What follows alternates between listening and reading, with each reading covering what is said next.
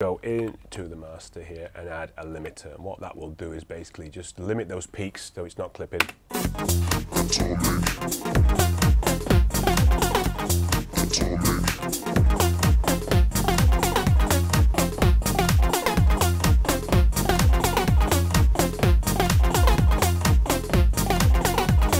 Okay, our synths are a tiny bit loud.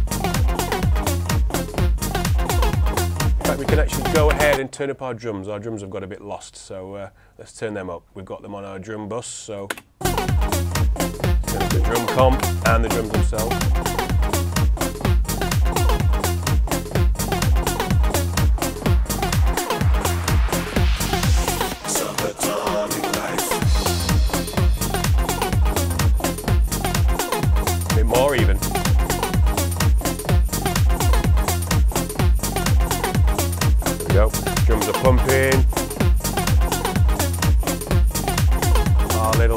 Line's a little tiny bit loud.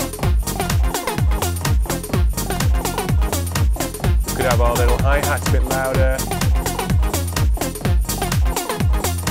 Not too much.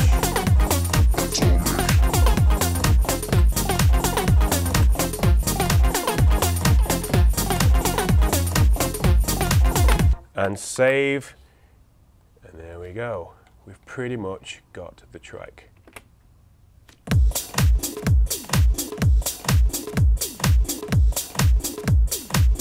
It's a lot fatter, crisper, cleaner. We've took out all the low frequencies and things that didn't need them. We've actually got the levels all nice and compact. Everything's working together as a whole.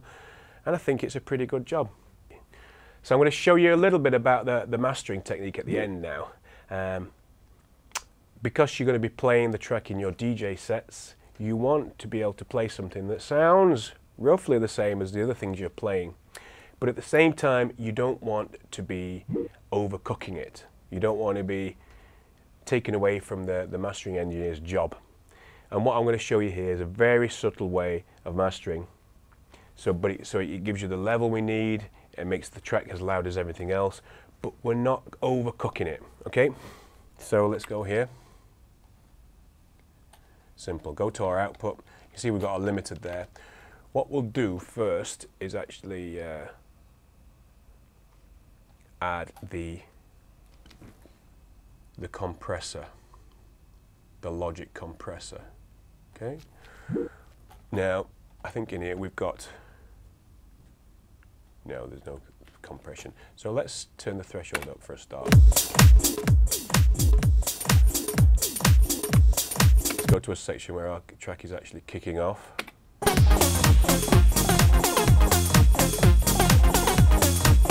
It's nice to have a bit of compression on your mix output. And the reason being is only just a couple of dBs, and that's just to squash the whole thing together.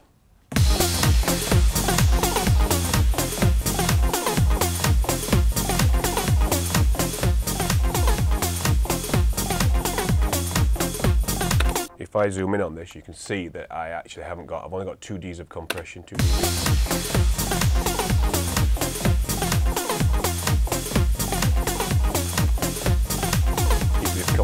Ratio really slow, really low.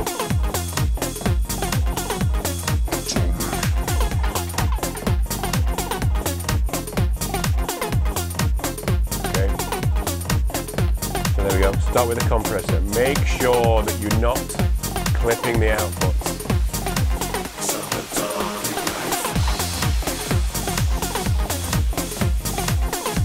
Okay.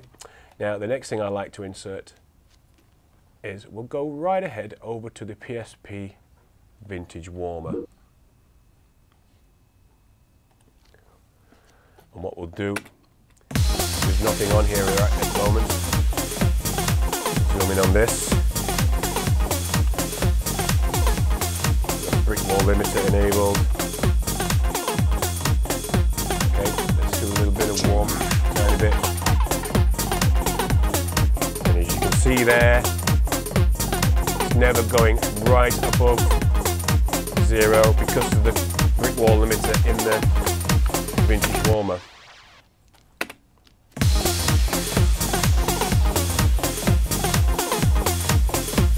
So you can see on the vintage warmer, I'll turn it off while I'm doing this. You can see all I've done is added a tiny little bit of drive. I've not done any compression with the knee setting here. There's no compression at all. All we're doing is adding a little bit of tape saturation for that added little bit of fatness. If you wanted to, you could add a little bit of high end or low end. But we don't need it. And you can see down here that we're not clipping our outputs. We've got a nice even level, but we're still leaving some headroom for the mastering engineer if need be. There's one thing about mastering I can't stress enough though is not to overcook it. Just do very subtle things. What you want to do is we want to be able to play your track out and it compares to the other things that you're playing. So, but be careful with mastering. And if you're unsure about mastering, leave it alone. Just make sure that your output's not clipping. Leave it alone. Leave it to a mastering engineer. So that was a final episode in the D Ramirez Masterclass. I've took you through uh, the whole process of making a track from start to finish starting from the actual process of getting your ideas right up to the finished mix basically. Now you can understand the, the track is quite rough but uh, hopefully I've given you some techniques along the way which are going to be very helpful.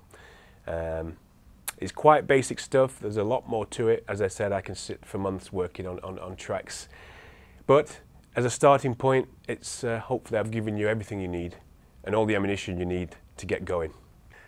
So a big thank you goes out to Icon Collective if you want to learn more about these topics, please go to www.learntoproduce.com. Stay tuned, you never know, you might see more from me in the future. Bye.